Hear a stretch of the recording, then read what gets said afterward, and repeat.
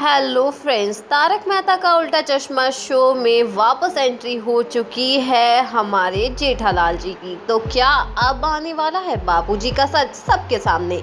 जी हाँ दोस्तों, स्वागत है आप सभी का हमारे यूट्यूब चैनल पर। और जैसा कि आप सभी जानते हैं कि बापू जी रोज सुबह जल्दी उठते हैं और जल्दी उठने का ही उपदेश भी देते हैं। लेकिन आज कुछ खास होने वाला है।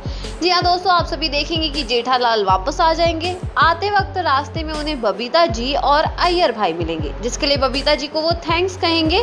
तब बबीता जी उन्हें बताएँगी कि वो उन्होंने बापू जी का ध्यान अच्छे से रखा, लेकिन वो खाना लेकर जब उनके पास गई तो उन्होंने कहा कि वो डिनर अपने दोस्तों के साथ बाहर करने जाने वाले हैं। और इतने में ही अय्यर यहाँ पर कहेगा, सिर्फ़ डिनर ही नहीं, और भी कुछ। तो यहाँ पर वो हमारे जो जेठालाल जी हैं वो यही करेंगे और भी कुछ का क्या मतलब? तो यहाँ पर जेठालाल को सिर्फ़ एक ही जवाब मिला कि घर जाओ, खुद ही पता चल जाएगा। अब घर पहुँचते ही हमारे जेठालाल फ़ोन करेंगे बापू को, लेकिन बापू अब तक सो रहे हैं। जी हाँ दोस्तों, वो दरवाज़ा खोलने की हालत तक में नहीं है।